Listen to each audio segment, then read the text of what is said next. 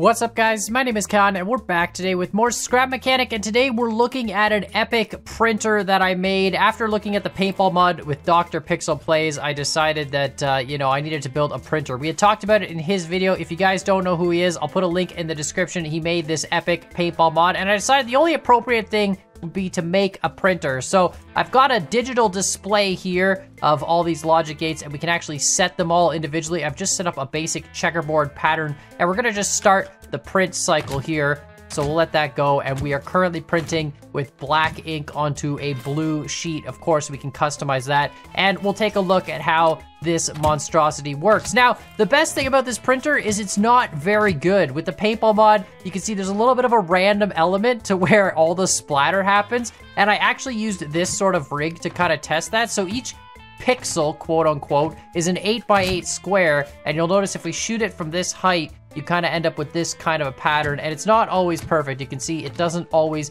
cover the entire square, but it makes for a really hilarious printer and makes for some epic drawing. So we're gonna let this checkerboard pattern continue and you'll see it goes through row by row and each time it goes, it increments the entire page out and just slides it out one extra row and then of course keeps printing the next row and we can make any design we want using this computer. Now I could probably modify this design while it's printing and it won't care because it literally reads it line by line. And of course we've got this massive logic nonsense to make all this work. But it's been a while since I did sort of a cool logic project with, you know, some computerized stuff. And there's a lot of easier ways to do this. We could have easily just had an image with a bunch of color sensors and you draw the image and it scales it up. Or we could have done it even with a bunch of switches or even like blocks on sensors or whatever. But I thought the only way to really do this like, you know, a real computer is to make some sort of a digital screen with a digital selection matrix and then a printer that attaches to that and reads the inputs off the digital screen. So this is gonna finish up,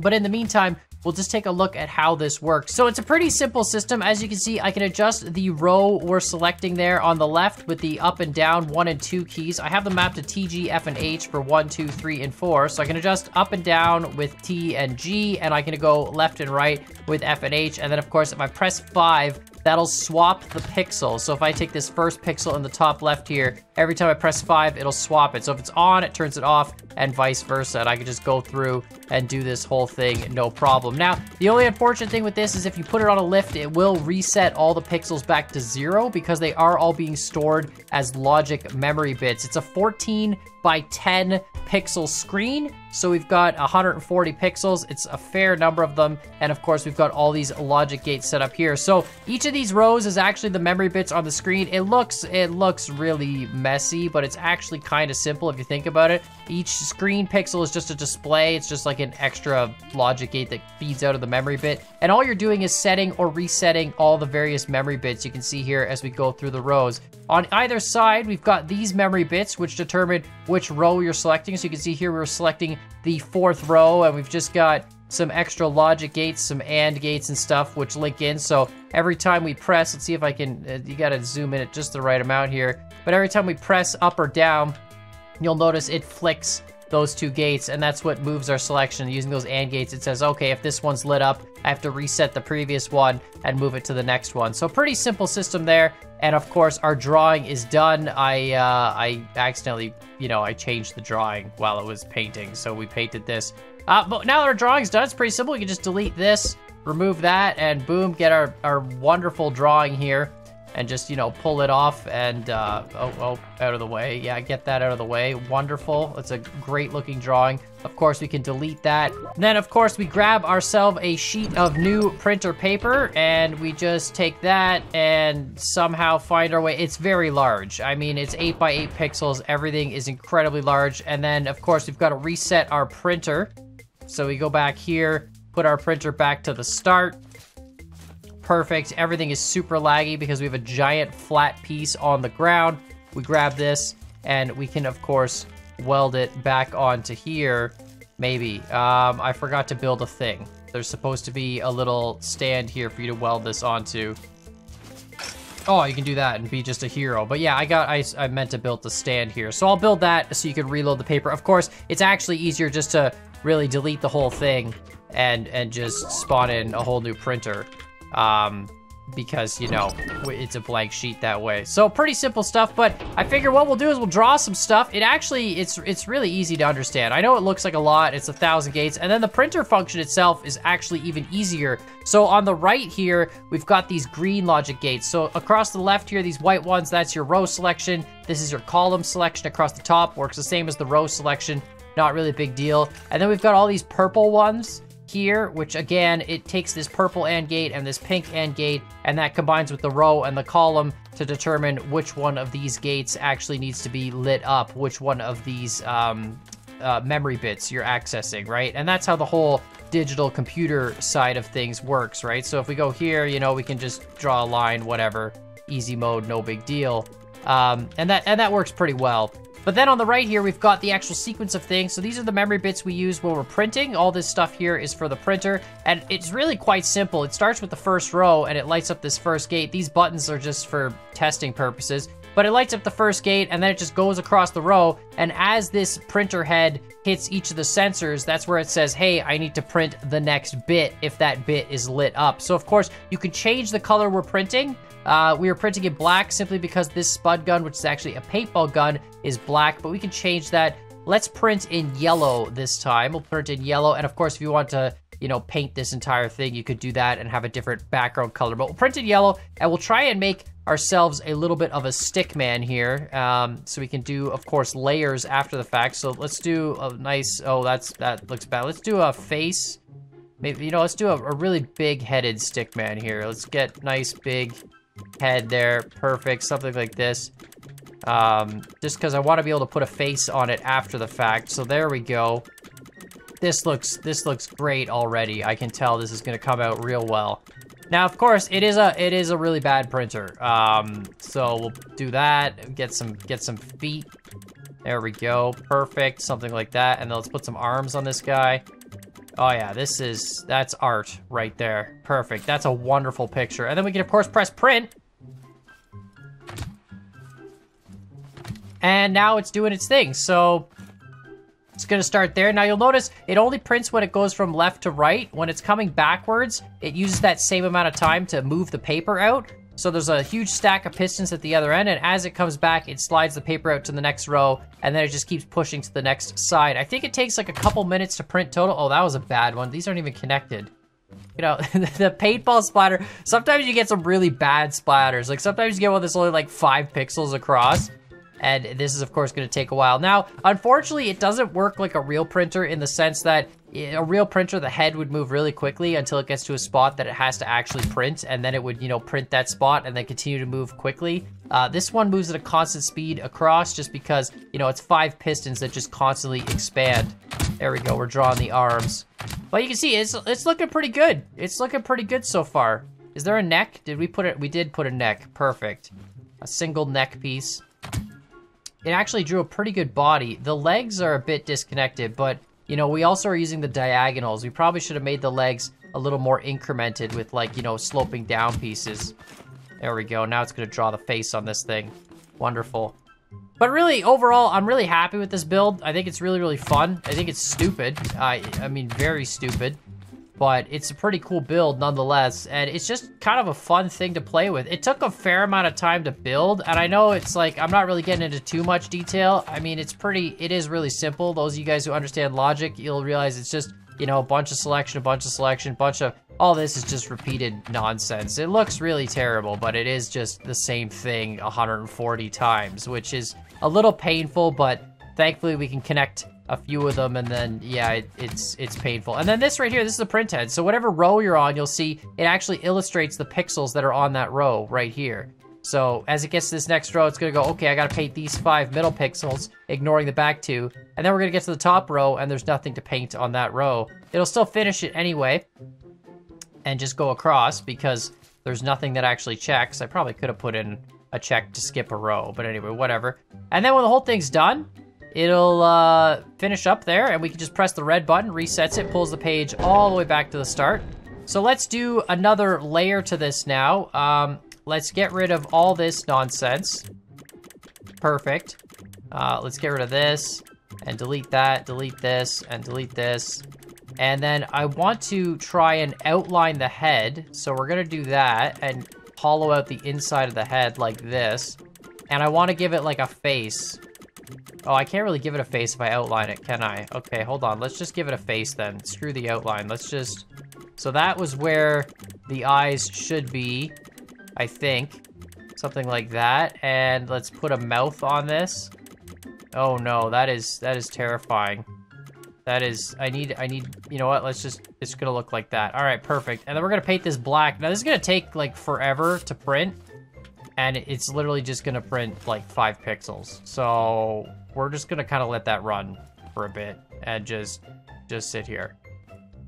Not bad though. Not, not you know, this is, this isn't the worst. I, I've seen worse things.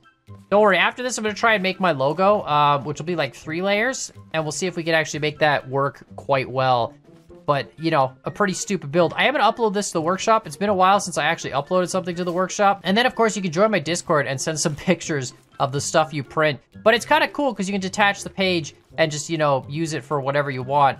Um, but of course you are limited to only 14 by 10 pixels. So it is what it is.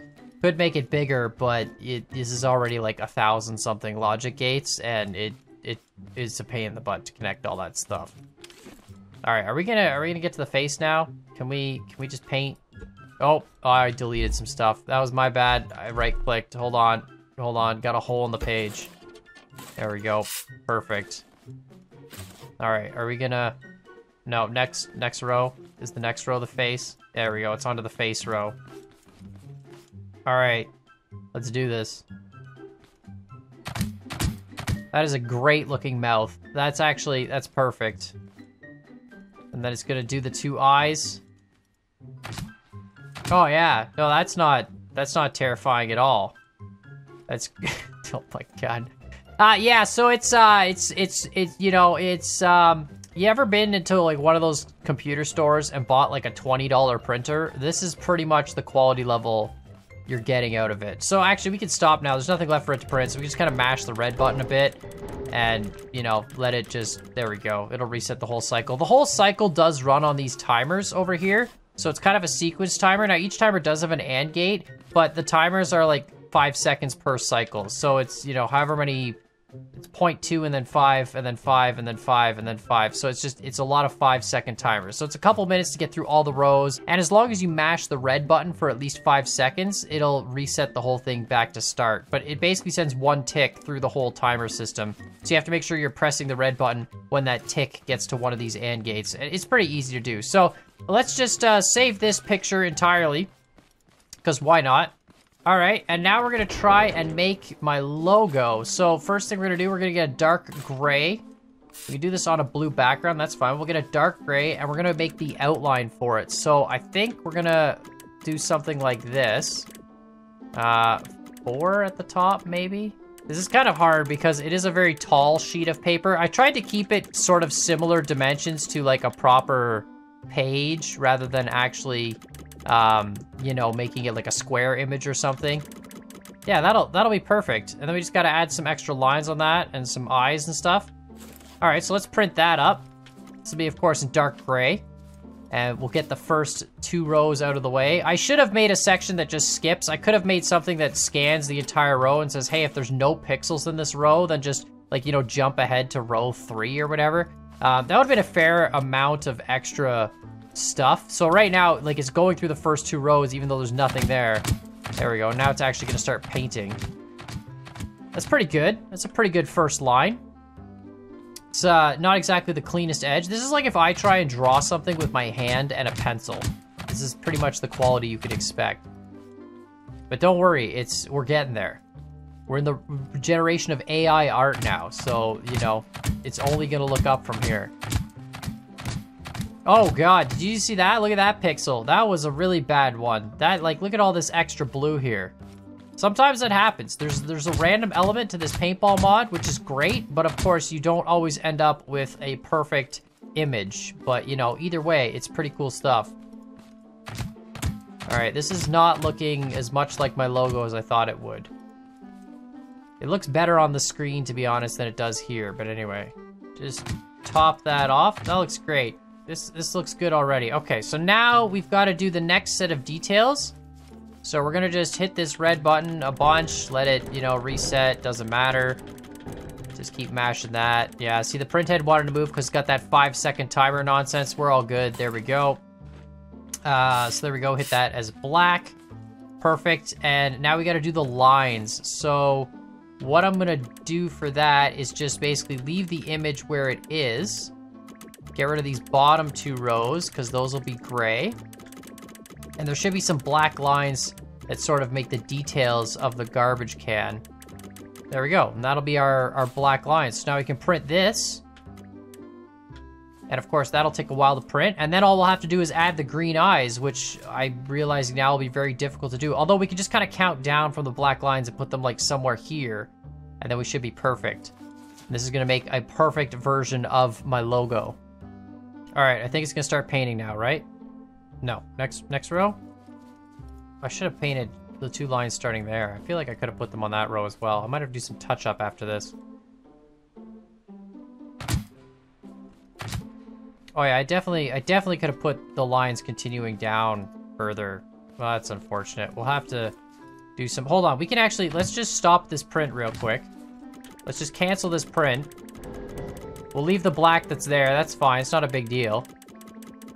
There we go. And we'll just extend these lines down a little bit further. Doesn't really matter if you paint over it because like it's all random anyway. There we go. Now we'll start it up. I want the lines to start like down here and then work their way up. And then, you know, uh, we'll put the lines on top as well, the eyes on top. It'll all be perfect. You can, of course, always change the color midway through. You just have to, like, paint that paint gun. Whatever color you paint that is the color it's going to be. I was debating on doing, like, an RGB sort of paint system, but you could only really have three colors anyway if you did that. Like, it wouldn't mix the colors or anything. If you paint red and blue, it's not going to mix it. It's just going to be, like, a red and a blue dot. And then on top of that, the digital display is only one color, so we'd have to have multiple layers to it if we want to do multiple colors in the same print pass, which obviously we're not going to do. So this is fine, though. I mean, it works out well. Look at that looks that looks perfect.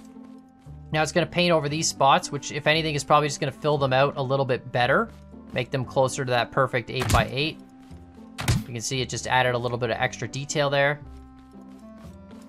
This is such a stupid idea. I, I love it. It took way too long to do, and I'm really happy that I did it. But uh, yeah, I don't I don't know why. Now I got to do like a, a wireless version where you can you know have the screen on some side of the map and then have a printer on the other side, and your friends have to try and guess what you're printing as it prints. I mean, we could do some crazy. Actually, we could just put a big wall up and do some Pictionary stuff, and someone has to design something on the screen, put a box on the screen, and everyone's trying to guess what they drew. That would be kind of funny. You could do some stupid stuff with that. But uh, yeah, this is looking good. This is looking this is looking real good. The pixels are kind of large, but I think it's perfect. I think it's doing one more row. Is it two more rows maybe? I think it's just this last one. This is as actually I can kind of see my logo in this. I should have done like one line. Oh no, this is even width, isn't it? Yeah, it is. Oh, there we go. That's the last row. All right, perfect. So now we can reset this layer. Just mash that a bunch. Stop. There we go. Perfect. And paint this green. All right, now we got to do the eyes. So the eyes should be like here. Which, how many rows back is that? It's like one, two, three, four, five-ish. Five rows down, maybe six rows down. So we're gonna clear this. We're gonna have them just hang out a little bit from the outside, because why not? There we go, that's gonna look good. I hope. I think they should be disconnected in the middle, though. Whoops. Maybe? Yeah, let's let's try it. What if I, hold on, what if I do another, whoops, what if I do another layer? Oh. That might, this might look like something. I don't know, let's try this out, see what happens. Worst case, it's gonna look terrible. I mean, it already, it already kind of, it already kind of looks terrible. I'm not gonna lie. This is pretty, it's pretty bad. All right, there we go. I feel like I should have made the eyes lower. There are gonna be some really high up eyes here. Uh-oh. Might have put, I might have put them too high. Uh-oh, no. Yeah, I didn't measure correctly. Oh god, they're gonna be so high up. Oh well. It's, you know, you know, it's like a con where the eyes are sort of exploding out of that. You know, it's not the worst, actually. If I step way far back, it's, it's better than I thought it was gonna be. That's not terrible. Kind of rounds out the edges a little bit too, makes it look a little bit cleaner. That's perfect. Hold on, let's just let's just break this off here now. We're pretty much done. There we go. Print is over. And then we can just, you know, put this up on a nice little block there. Just kind of grab this. Look at that. That is some art. That actually, you know what? It's not as bad. This is like if, you know those like five-year-old drawings that you put up on the fridge? I feel like this is the equivalent of that. It's pretty much a five-year-old drawing. But look at that, a triple layer printed drawing. So either way, pretty cool stuff. I'm I'm really happy with how this turned out. I mean, again, shout out to Dr. Pixel Plays for making such a hilarious and amazing mod. I love the random element to this and the fact that you can just paint all sorts of stupid things. But let me know what you guys think in the comments down below. Of course, check this out on the workshop. I'll put a link in the description. And, uh, you know, show me your art on Discord if you want to send me art. That would be kind of cool that you make in this game because, uh, you know, this is just, this is a masterpiece. And I'm super excited to make more stupid things. But let me know what you guys think. If you have any other cool Scrap Mechanic Logic projects you'd want to see. It's been a while since I did a Logic project, but to be honest, it was kind of fun to get back into them again. It's always fun figuring out stupid projects like this. And uh, even though it looks complicated, it is, I know I say this a lot, it is actually really simple. It's such a simple mechanism. It's just a bunch of memory bits storing values, and it all works really, really easily together to make, you know, something stupid happen. So let me know what you guys think. Make sure you hit that like button, hit the subscribe button. And as always, I hope you guys enjoyed this video, and we'll see y'all next time.